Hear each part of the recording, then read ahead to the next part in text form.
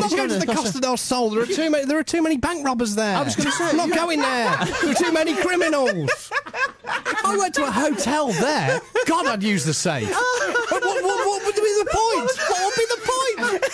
They're bank robbers. If they can get into a whole bank, they can get into a safe. Yeah, no, you're His absolutely missus right. wakes up one morning. All right, we're going on holiday. Well, I say holiday. it's a heist. When you look on the tickets and it says Becky Getaway Driver, you know there's something. It's not even funny. I'm not a bank robber. I know I said bank in a weird way then. you didn't say bank robber. You didn't say it in a funny way. You said bunk. The Dino and Pete Podcast. Capital.